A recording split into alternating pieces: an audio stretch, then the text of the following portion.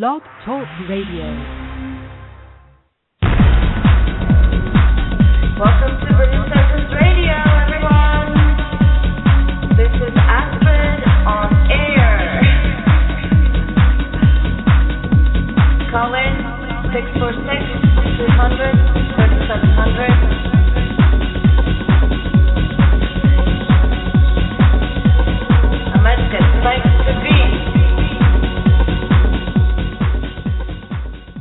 And welcome, welcome, welcome, welcome back to Radio. This is Astrid on Air, Thursday guest special.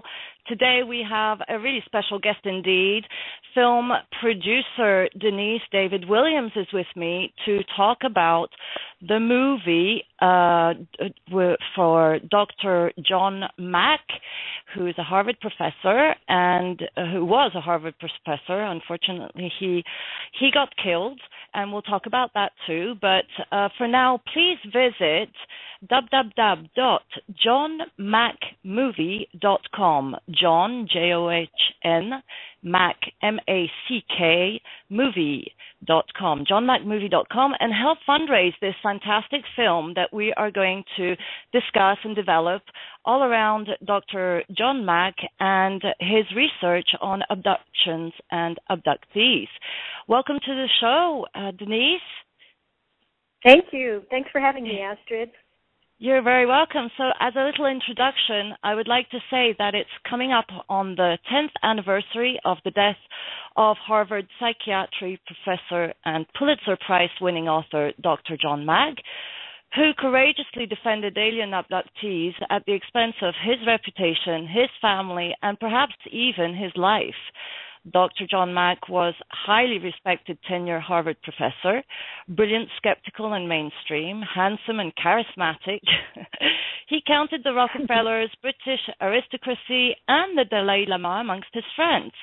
His awards included the Nobel Peace Prize that he shared with an international association of doctors against nuclear arms, and a Pulitzer Prize for his psychoanalytical bi- biography of Lawrence of Arabia, which is a phenomenal story all right there. John believed in academia and in the practice of psychiatry as a pathway to understanding the world, but his adherence to these traditions did not protect him when he declared that people who claimed to have been abducted by aliens were not only telling the truth, but that what they'd learned from their experiences is crucial to the survival of humankind. By the end of his life, John Mack was regarded by some of uh, some as visionary and modern day Galileo, and by others as a fool who'd made an error of historic proportions.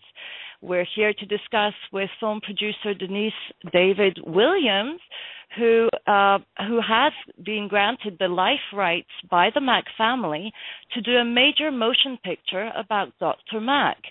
Now, Denise has a website, makemagicproductions.com, and to where you'll find excerpts, uh, very short and very interesting audio excerpts that uh, bring you in a little bit more into the story that we're going to develop here.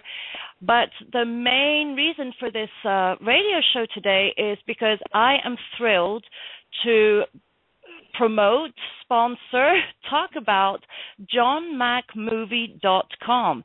So please, if you have 10, 20, 150, or if you're really into these ETs and, and, and, and real life stories about abductions and abductees, and you want this to be mainstream and you want people to know what's going on in the real world, please help fund johnmackmovie.com uh, and and help Denise push along this production. Where are you at with the with the production, Denise? Wow. First, I want to say, Astrid, that was just so beautifully put. Thank you. That that that was beautiful. Thank you so much. You're very where welcome. We are, where where we are now is we well let me let me take a few steps back in order to more fully answer your question. So I've been in the entertainment industry for more than 25 years, and I know my way around it pretty well. And so after I was granted the rights for uh, John Mack's story, I went to many, many companies in Hollywood, and, and there was a lot of interest. to to make the film.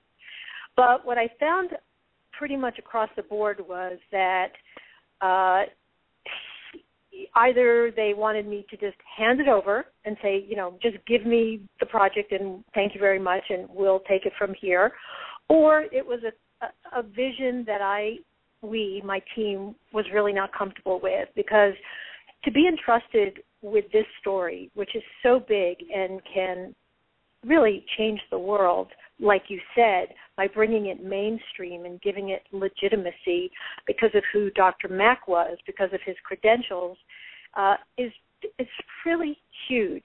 And there's a responsibility there to tell the story without sensationalism, without exploiting him, without making him look silly. So what we've chosen to do just for the initial phase of the of the production is to raise development funds through crowdsourcing because that way it will enable us to hire the writer that we know is the right writer and develop the script within in house and uh, and then go back and do it in a more traditional way get the funding from a studio for the entire picture and you know and and like i said go the traditional route that a major motion picture would go so that's why the support of John Mack's friends and colleagues and people who loved him around the world and people who are so interested and, and who are advocates of the phenomenon itself, we need your support in, in order to bring this really important story into the world. Mm-hmm. Now, were you personally? We Just, yes. I'm sorry. Go ahead we have a little time uh, because I, am guessing you're you're.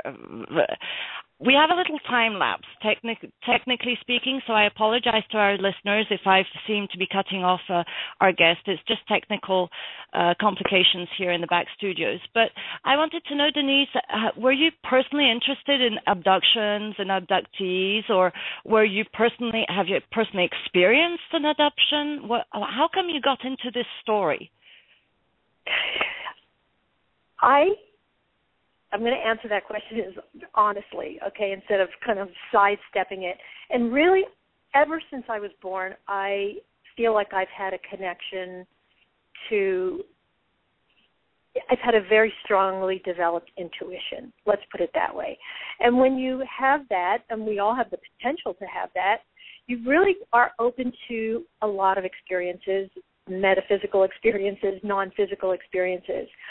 I personally have not had an abduction experience, but I've had other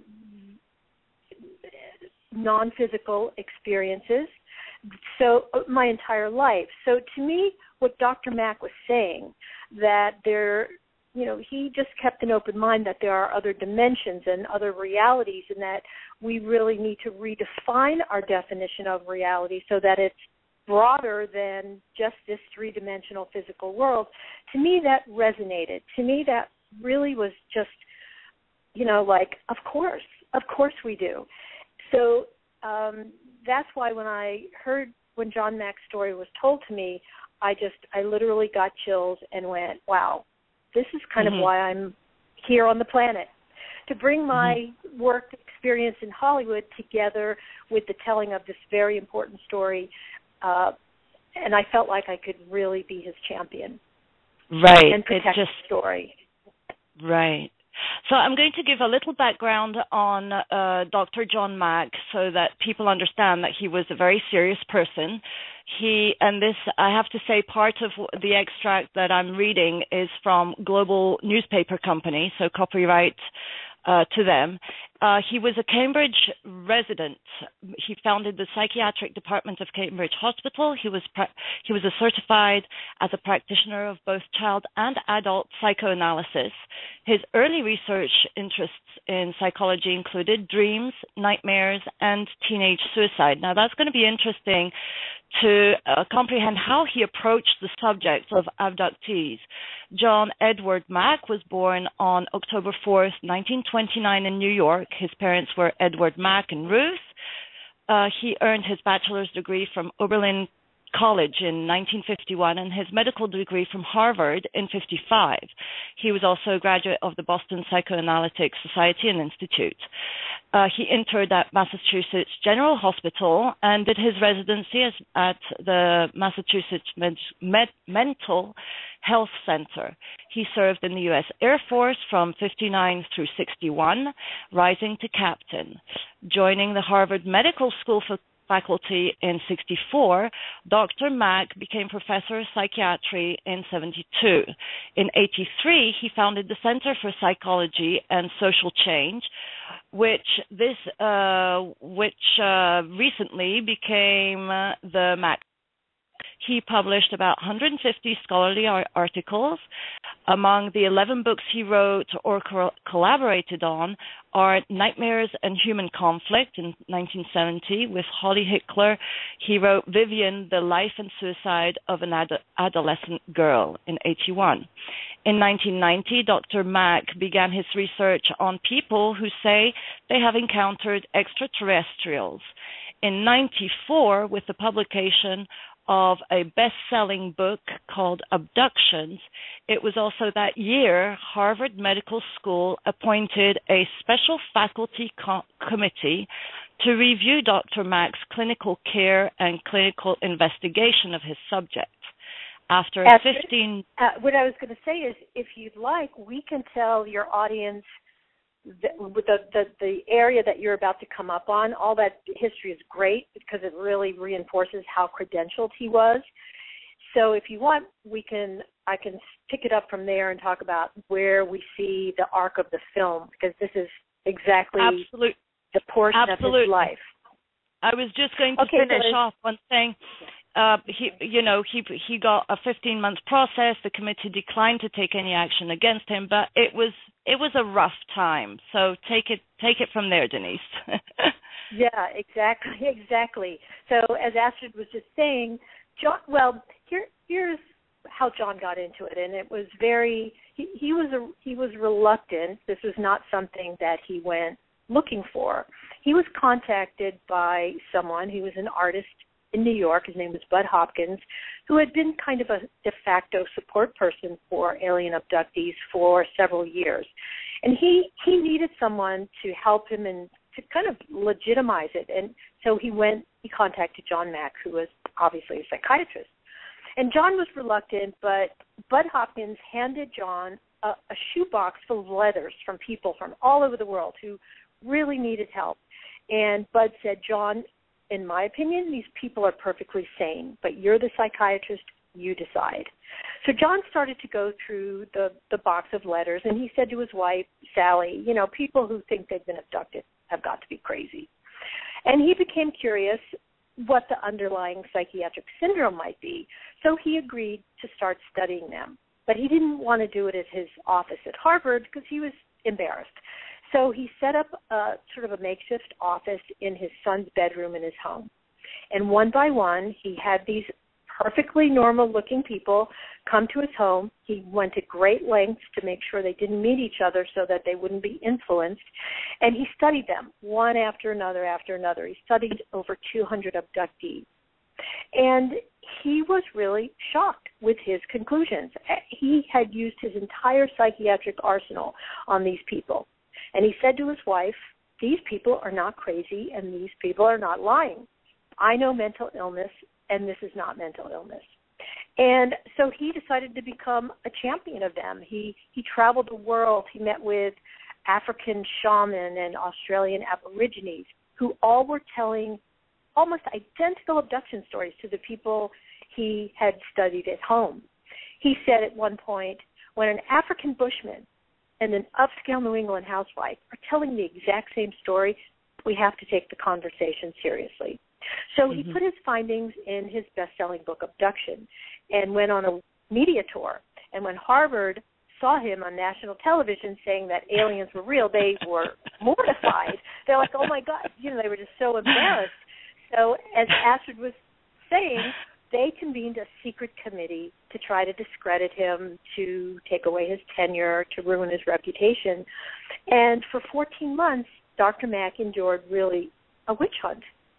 And um, but in spite of it, he continued to champion the abductees. He said there's an authentic mystery here, there's something truthful, there's something valuable about this phenomenon, and we need to keep an open mind.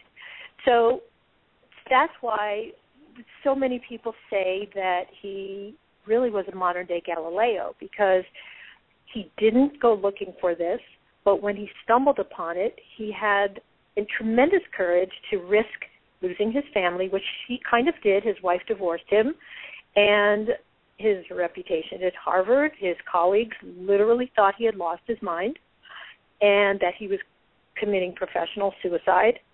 And yet, he couldn't turn away from what he had discovered. And so he is the, his story is the perfect hero's journey. It's an incredible protagonist for a film, and um, you know we're just really so excited and so honored to be able to to shepherd it into the world. Right. uh, he he one, and you have fantastic excerpts on your on your uh, on your website. Once again, the website is www.makemagicproductions.com. You've got little audio clips where the wife uh, says that she too is a therapist, and she she was used to you know people hiding under the hiding under the sofa or going running into the closet or things like that. But she seems to say that what she heard behind the walls was quite extreme. And here I want to give a little bit of my own experience as a clinical hypnotherapist, having done past life re- uh, regressions and things like that. I have come across clients who describe uh, abductions and being, you know, abductees. And as the hypnotherapist yourself, you you, you there you know there's a part of your brain that says, "Is this for real? Is this true?" You know how um how elaborate was his uh screening for these people? Well, that's a great question and really does go to the heart of it. He used everything that he had as a psychiatrist. And at a very interesting, uh, there was a very interesting study. Harvard was part of part of the committee's um, criticism was that John didn't really uh, solicit the help of other Harvard colleagues. So he went to the psychology department and agreed brought some abductees with him who agreed to submit themselves to a series of a battery of tests. And what they did was they hooked up the person with electrodes in a booth and they read them a happy story, a scary story, a neutral story, and then read them one of their own abduction stories. And what they found was that their physiological responses tested off the charts, more than Vietnam vets, more than rape victims. And the one thing that the psychiatric community agrees upon is that you cannot fake physiological responses to trauma. So Mhm. the data was actually there, but his colleagues in the psychology department just refused to acknowledge that there was the possibility that aliens existed. So they just said, well, we're going to interpret the data differently. And so John could have been vindicated in that way to a degree. His colleagues wouldn't do it. So th- that that's one of the ways that John did vigorous testing. Um, and also he was trained in a Freudian method, so he his method was interviewing and talking. And um, you know that was another way. I, I know he also used hypnosis, which was controversial, but um, you know those those were his methods.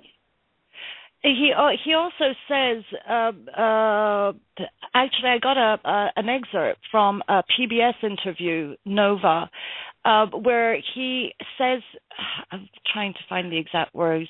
Uh, he says that basically people, yes, they, you know, they go through hypnosis and, and things like that, and they share their experiences. But in fact, it's it's a lot of times these abductions were done when they were, uh, you know, going around with their daily lives, aware, awake, eyes open, and all of a sudden there's this process that happens, which is kind of the basic storyline for every abduction, and they find themselves uh, partly paralyzed and then kind of lifted off. Is that correct? That is correct. That is Mhm. correct. It's it's a pretty involuntary, not pretty. It's an involuntary experience that can be quite terrifying and Mhm. quite traumatic. But the thing that that really separated John and the thing that's so interesting to me is that John took it further than other researchers in that he said that it's it it it, it looks like a shamanic journey the shamanic uh, test where the student is pushed off a cliff and Mhm. is terrified but then faces his fears and then is transformed spiritually transformed as a result of going through the the trauma and John drew a parallel between alien abduction and and that that experience of being thrown off a cliff. That so many of his patients, once they got beyond it, were transformed, and they Mhm. changed. You know, they felt a deep kinship to the planet, a deep connection to our fellow man, and um, they felt uh, motivated to be of service in some way. So that's pretty profound when you think about it. Mhm. You know, when you get past the scary, you know, they're here to whatever, fill in the blank. So that's that's the aspect of John's work that to me is so fascinating and is so valuable. That there's something more to it. Right. The spiritual experience is is really something that he found fascinating, as well as the fact that um, they, he says he talks about abductees recognizing that um, the the abductees recognize also themselves as alien participants to the abduction process. Now, the um, and what I'm referring to is where Dr. John Mack says, okay, these guys, they're humans, they know they're humans, they they understand they're being abducted, they understand they're victim of, you know, uh, uh, physical, physical, I would call it abuse personally, but um, apparently aliens don't think that way, and at least not the ones that abduct, and um, and that there's this this process, this this moment where they understand that not only are they the humans that are being the victim, but also th- somehow they become also the alien participant in the abduction of the human form that the spirit, this is my understanding, that the spirit inhabits as the abductee. What would you understand that to be, Denise? Well, to your first point about um, the aliens abusing humans. So this is what Dr. Mack said about that. I think I think this is like an incredible analogy. We take a baby to the doctor to get vaccinated and the doctor sticks a needle in the baby and and the baby cries and screams and from the baby's level of consciousness it's horrible, right? It's, Right, it's horrible. right. Right. But from the parents and the doctor's broader perspective, it's for the baby's well-being. There's value to it, you know, on and on and on. So I- when we when we shift our our perspective and consider that, mhm. it's you know it shines a different light on it. So um, uh, that's that's how he saw it, and that's a very unusual perspective. He was one of the few to see it that way. Mhm. In terms of habiting, inhabiting, I can't really speak to that because I I don't know. You don't know. Uh, let me see if I can find the passage. Um, I'm afraid I, I can't find it right now. I'll read you this part though. Uh, the referring again to what we previously said, Dr. Mack says the person may be in their bedroom quite wide awake. The beings show up, and there they are, and the experience begins. That they're not occurring in any dreamlike state. Now, sometimes they do occur when a person is dozing off or in a hypnotic, hypnagogic. Geez, I never thought that word existed. Uh, in a hypno, in a hypnotic uh, state, but very frequently not. So, so the simple answer would be yes, it's both. It's both literally, physically happening to a degree, and it's also some kind of psychological, spiritual experience occurring and originating perhaps in another dimension. Did That's he? Right did uh, uh, I, I can I can only imagine what your your movie is going to be about because now we're touching different dimensions. What do you say to that? well, yeah, I mean it's it's it's it's deep and it's provocative. John did say that you know originally when he was studying the phenomenon, he said it was strict. He believed it was a strictly physical thing, like you just read. You know, they they come in do whatever they're going to do with you and it's here. It's actually happening in our physical world. But after a few years john came to believe it was more of a crossover experience meaning they crossed over from another dimension and whatever the experience or interaction was what happened and and then they crossed back. So they were manifesting here. That's another that's the reason why john said they couldn't leave physical evidence. Perhaps evidence on the on someone's physical body, but not literally, you know, items or objects. Um, that it was impossible if it happened that way from another dimension. So these are, you know, these are very deep things to contemplate. But when you mm-hmm. think about it, Astrid, we, in especially in Western culture, are very locked into a paradigm of thinking that says if I can't touch it, if I can't see it, then it doesn't exist. Right. And we're one of the few cultures in the world that believes that way. You know, other cultures don't really have a problem saying, sure, there's something greater. Sure, my intuition is very important, um, which is what John, you know, John went from being an atheist with a very materialistic worldview Mm. And after doing this work, he became, in his own words, intuitive, heart based, and a very spiritual man. So, in our opinion, our filmmakers, it's, if the film can convey his story that way, then think about the hearts and minds that it can touch of people all over the planet. To just contemplate, to just contemplate allowing that other element of life to be as real and as valuable as the physical. Mm-hmm. I think a lot of us are in the closet with our experiences, with our stories.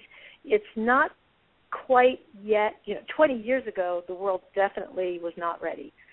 But we believe the world is ready now, and that's why this film is coming out, why, why you know, why it's being born, and and why so many people are rallying around saying yes it's time. It's really time for the conversation to come out of the closet. Right. And that's a, really good point the conversation because there are so many out there in in in the fields of spirituality and the paranormal uh fields that cl- still clash today. You know, one uh, some people are more fear based and other people are more love based, I would put it, and more comprehensive of a greater picture and a greater alliance and a greater meaning for for the reason of humanity and the reason of these abductions, etc. Um, did John Mack ever you know, state exactly what he thought the reason of these abductions were from the alien perspective? Well, he kind of did. Again, if you if if the listeners go to johnmackmovie.com, there are some clips of John talking at the end of the video, and and he addresses that very question. Astrid, he he an interviewer asked him, "Well, John, what what why is this happening?" And he says, "Well, I don't know. I don't know. You know, maybe it's to expand our consciousness. Maybe it's because we're destroying our planet and they're trying to get our attention. Maybe it's because we're headed in, as you said, a fear-based direction, and and that's not good for the evolution of our species. He speculated on a lot of things, but he was humble enough to say, "I don't know. I only mm-hmm. know what the experiencers, which he preferred to call them because he felt the Mhm. word abductee was more of a, a victim word, and the abductees themselves preferred the word experiencer. So, you know, he speculated, and but then he also said, "I can't say for certain." Is there any commonality between the 200 plus studies that he did uh, in terms of maybe location, style of life, um, age, that could tell us why this person and not the neighbor? That I mean, God, that's a gr- a great question, and the answer is no, nothing. I mean, from a child, I, I don't know if you're aware of the Zimbabwe Ariel school sighting in Zimbabwe in Mhm. 1995. Uh, 62 uh, South African school children had a sighting, and John interviewed them. They were incredibly credible. Oh, he did. He did, yeah. We have a clip of that on our website as well. These children are they're like 8 years old and they are just so sincere and so authentic. It just blows you away when you hear them. Mhm. So um so you know, you have those children and then you have chil- uh, people in all kinds of professions, all ages. Uh, you know, people yeah, there was no commonality commonality in who this was happening to.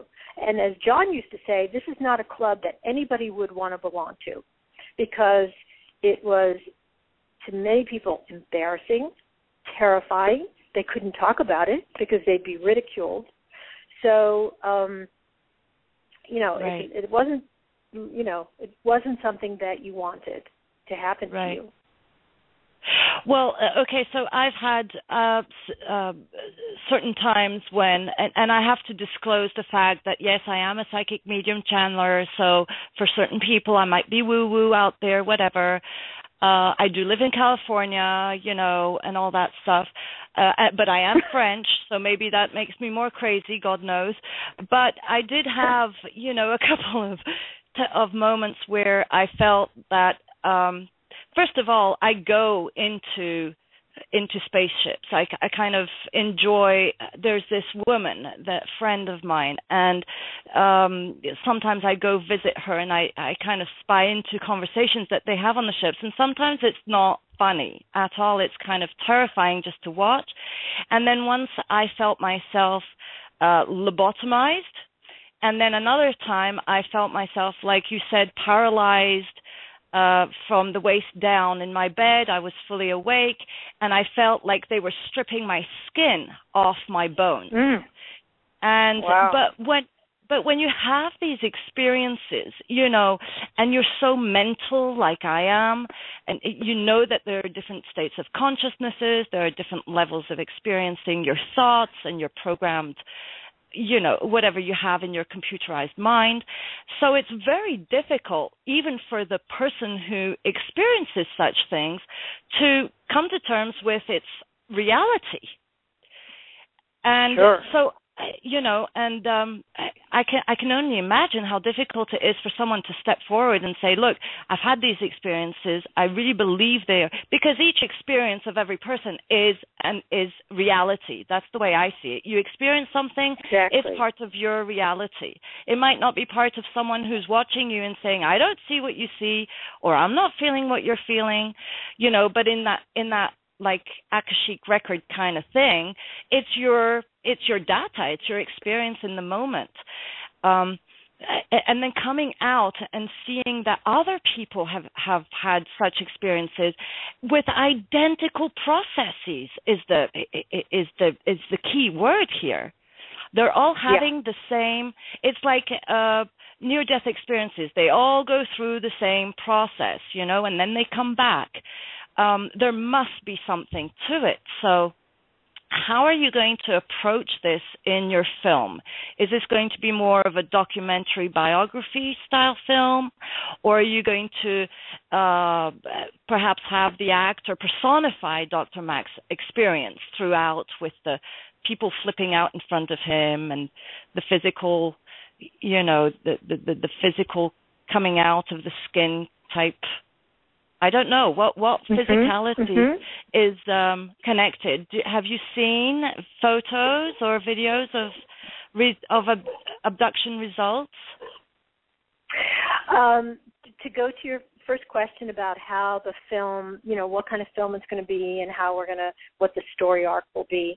This is a theatrical film. It's not a documentary, meaning it's a film you buy a ticket, you go to the theater, you get your popcorn, and you have an incredible, entertaining experience. Awesome. Having said that, we know, we know that there's more to it and that it's an opportunity. Think about Close Encounters. That was an incredible film. It touched people all over the world. It was extremely entertaining, but it was also extremely provocative. And in that sense, that's what John Mack, you know, that that's what we're aiming for. That's it's a movie. mainstream film. Yes, awesome. that's how Awesome. we see it.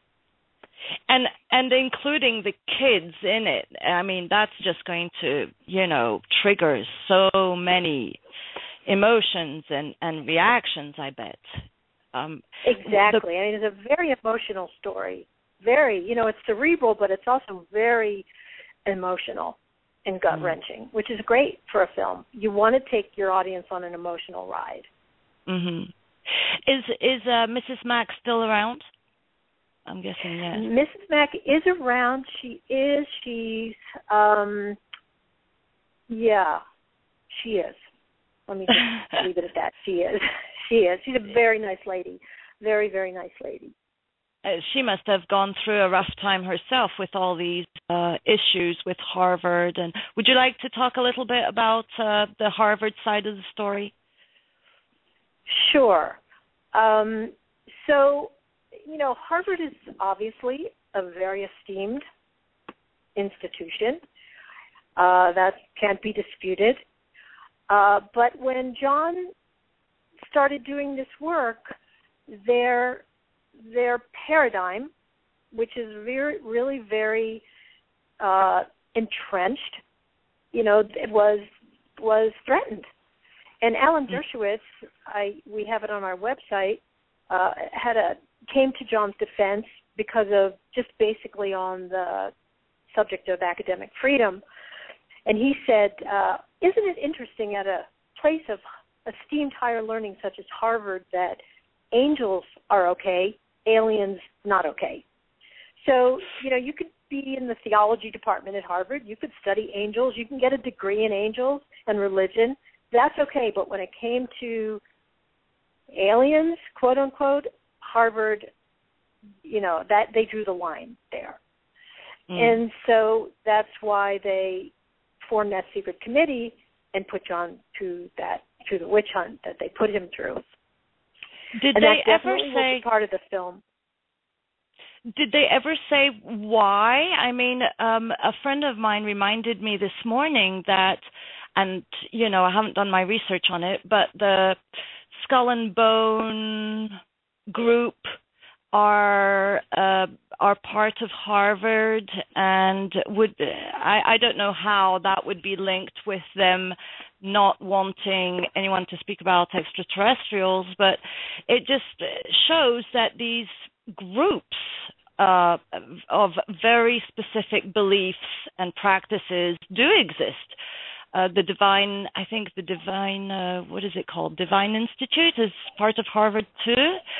These these groups that, like you said, talk about angels freely and talk and talk about, I, I'm guessing, skull and bones freely. You know, uh, they refuse to to accept that in research because that's the key word. It was all about doing research on something that may or may not exist. And for someone, you know, as uh, as as experienced as as Dr. Mack in psychiatry, you'd think that Harvard would say, "Hey, you're the perfect guy to figure this out and tell us if it's right or if it's true or not."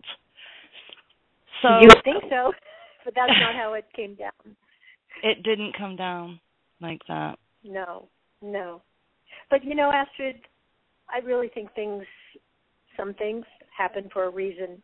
And look how powerful John Mack's life is, and that you know just the whole series of events, how it's allowing us now to pick up the torch, reignite the conversation, and go forward and tell his story. And you know, 20 years later, where Right. people truly are more open to it, and you know, and we can bring it to the mainstream. hmm So it all all the pieces fit kind of perfectly when you think about it. Now, um, there's another thing in relationship to Harvard University. Um, as I under, and I may have this, but I I thought that Dr. John Mack's work had already been undergoing for four years before the Harvard University uh, wanted to investigate his work. Is that correct, or is that a misunderstanding? is that is correct. That is correct. He started in 1990, and as I said, he he was way under the radar. He was he kept it confined Mm. to his home. He had he had the confidence of a few select colleagues, um, and uh, it wasn't until 1994 when his findings came out in his best-selling book Abduction that he went you know he went wide. He was on Right. Oprah, Larry King. He was on every major media show you can imagine, and that's when you know he when Harvard heard about it and the whole it hit the Mhm. fan, so to speak. Mhm. Mhm. Um and then there's also his death kind of weird too. He got run over by a speeding car in London before before a presentation. Would there would there have been anything in his presentation that some people would rather the information not be told publicly? Well, you know, he was speaking of, on the anniversary of his Pulitzer, so that had nothing to do with his abduction work. And the Oh. family officially uh, agreed that he was killed by a drunk driver, and that you know he was in London. He was an American, so you know it's easy for an American to look the wrong way when crossing the street in London. So that's so that's our position. You know, we're I know there are all kinds of theories and stuff, but that's we're, that's we're not going there. yeah, you're leaving it at that, right? Um yeah. Now, Dr. John Mack talks about uh, extraterrestrials trying to connect with us, and he calls us unconscious humans. Would you like to elaborate on that? Yeah, his quote was, uh, "This is an outreach call to the spiritually impaired," which I Ah. think he was kind of tongue in cheek, but but think about it. I mean, turn on the news, turn on the regular mainstream radio, and just you know look at our world and our our planet and the consciousness that exists and to a great degree prevails. And so what mm-hmm. John was saying was, hey, can we maybe like start thinking a bit outside of the box? You know, maybe there's a broader paradigm for us here in this universe. I mean, to me, mm-hmm. that's not really outrageous. To me, it's outrageous not to consider that we're not alone in the universe and Ah. that the possibilities of something broader than our little physical world are very great. So, you know, that's why John Mack was such a hero to so many of us. Mm. He says uh, they may have been wanting through through whatever they were doing to make a greater connection with us, and at one point he refers to, like we said earlier, you know how human humanity is destroying itself, and that uh, abductees or or participants, if you will, in abductions um, reported that this may go into the time where the east and the west coast kind of crumble. Spiritual as I am, I kind of have a tendency to connect that with uh, the Edgar Cayce prophecies and the Nostradamus prophecies. Uh, was he in any way interested in either uh, either people Uh, Edgar Cayce and and who was the other one? No, Nostradamus. Nostradamus. Oh, oh yeah. Um, you know, I don't. I really can't say. I, Mhm. I'm I'm not sure about that. Mhm. Hmm. What were his hobbies outside of uh those? Outside of Alien, uh, yeah. well, he was extremely extremely well read, and he was uh, he loved nature, and um, he was he was interested in so many different things, and he had a great intellect, a huge heart, and and um, many many many friends all over the world who invited him to participate in all kinds of activities. So he he you know he was really multifaceted, and um, it's interesting that he's going to you know be best known for his work with abductees, but as you re- said earlier in the program, he really did so many more things his work with Yes, I was wondering. I was asking the question because perhaps he did meditation. He was interested in um, uh, telepathy, um, mind control. I mean, all these uh, uh, connections through the mind to other realities and other souls in other dimensions, like we mentioned earlier. Because he was at, earlier, I mentioned something about him being um, very proficient in dreams and uh, youth Yes. suicides. Yes. So and also he, he then later in his life when he had kind of moved on from the abduction work he became very interested in continued consciousness. And he was working with a, a physicist whose daughter had passed and they were he was very interested in what happens after the physical body you know after we drop the physical body. So uh, you know, but unfortunately he didn't get much time to spend on that before he passed over himself. Right. I'm thinking back to Albert Einstein, who was interested in astronomy and in, in um, you know, vision, uh, informational data that comes to you through the vision and the mind. And um, I kind of had a flash of him uh, being curious about it, but perhaps not doing it himself.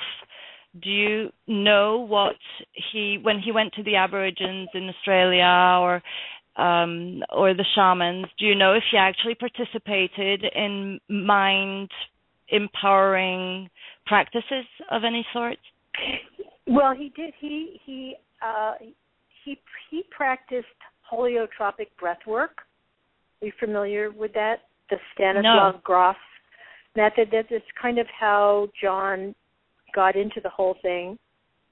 And um, you know, it's interesting because John always was sort of I what's the word dismayed that he himself wasn't having or didn't have an experience.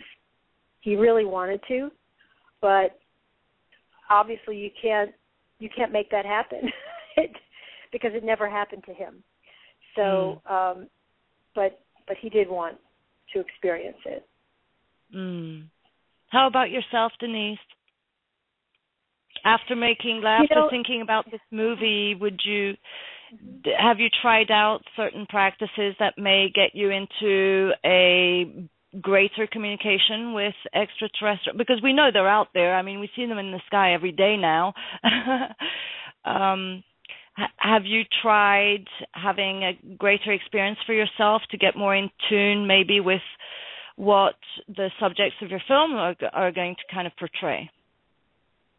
Uh, sure, uh, but I actually haven't had to try. I've actually been able to have.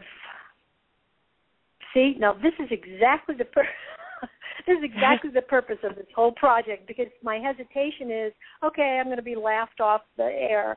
Do you know what I mean? This is exactly what we're trying to break through. Um, and that's why you're on Brilliant Essence because here everybody is with you. Everybody has phenomenal experiences and they're real and they're true and they're true to us and they're true to many around us. So feel safe. We are your listeners and your viewers. so bring it on, Denise. Bring it okay, on. so so really from really from the minute I was born, literally, I remember I have the conscious memory of looking up and seeing my parents leaning over the crib, and the conscious memory was, oh, okay, here we go. Meaning, you know, the veil had not dropped yet, and I knew I was here in a body and I had to go through this incarnation and experience whatever that karmic contract was that I had agreed to. So that was from literally hour one. Then throughout my life, I've had, I described it as very highly developed intuition, but it's really a lot more than that. I've, I've, you know, channeled dead people and and not because I've tried to just because they show up on my shoulder wanting me to convey right. a message to someone or you know or something. Uh so many of those experiences. So many it's come very naturally to me. I i also have incredible guidance from beings of the christ light who i spent several years with in the 90s it was myself and a group of us who basically who gathered because of the call of our hearts and they transmitted to us really what's happening now they told us what would be happening, what our individual mandates would be, and oh. this film was my mandate to bring it forth into the world and to protect it and make sure it was done with integrity. And so I do have ongoing guidance from beautiful, very, very highly evolved beings. I can't say if they're quote unquote extraterrestrials but I've been told that they kind of speak as one, and that's good enough for me. Right. You know, I'll share you a little um a little story. I was in Sequoia Park and I was doing a personal meditation with uh, Buddha, and um, there appeared when Buddha descended. There appeared all the levels of the souls, the the the it was I don't know if I can describe it well enough, but all the levels of the plants and the animal kingdoms and the mm-hmm. the the souls uh, experiences and the angel. I mean, it was absolutely. I mean, and in the process, they were the uh, extraterrestrial levels. And there I was brought again. I connected with my friend, and she brought me. I said, you know we've talked and but i'm more into i don't care about what happens in spaceships and what you do with humans and stuff like that i want to understand your spirituality mm. and she mm. brought she brought me to this to this um space inside the spaceship and there was this huge huge i mean the the, the it, it was like 15 feet ceilings kind of thing. And there was this huge, energetic, moving form uh, in front of me. And um, this form transmuted, like shapeshifted into all these goddesses and gods and you know animal uh, uh, features and and I said, "Oh, so you're idolizing something?" And she said, "Listen, look." And the form showed me how it was in fact trans uh uh what do you call it uh like a like a Tra- it was like a transformer of knowledge and uh-huh. information that came through uh-huh. this form and it called itself the all knowing the wow. all knowing and it wow. was it was very mental because i understood that these guys were just looking and understanding that everything was information processable information processable information transformative co-creative processing mm. information and I was I was just blown away. I was just blown away by wow. that. Wow. Mm-hmm. Wow. Yeah, that's amazing. I think there's a level of consciousness where you understand that everything co-created can be computerized and put down in ones and zeros because it has to align, it has to connect or disconnect, associate, transmute, etc. That's just the creative essence. But there's intelligence behind it, and that intelligence we're all part of, and we can be conscious co creators in that Yes. intelligence to produce and manifest the reality that we desire, right? Exactly. Exactly. I went I went a bit out there. I haven't been Oh, well, Denise, uh, I want to tell everybody again, please go and uh, support this film, www.johnmackmovie.com, johnmackmovie.com, to come out soon.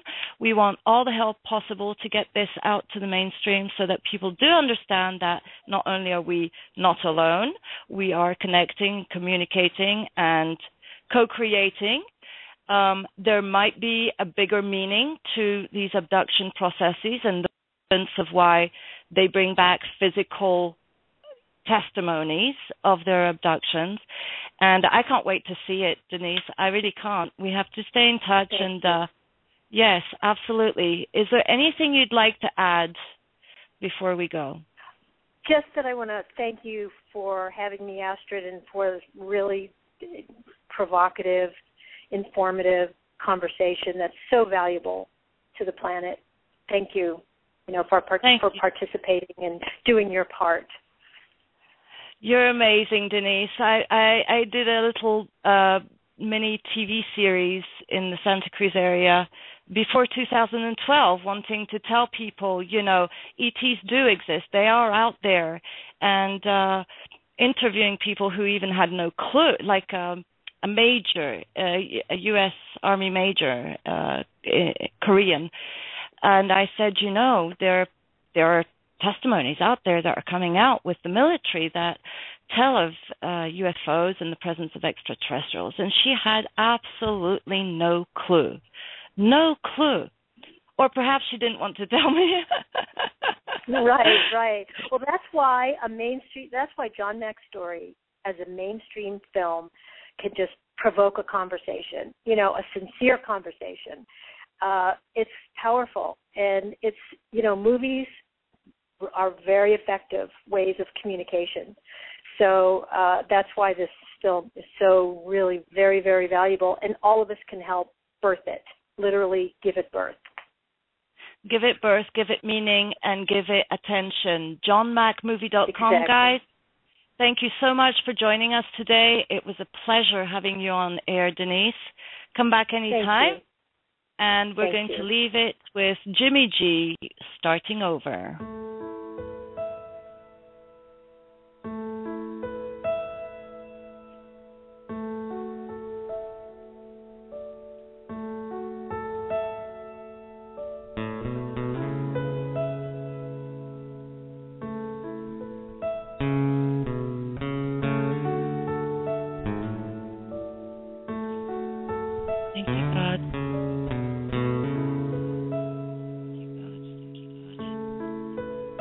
Don't know why you're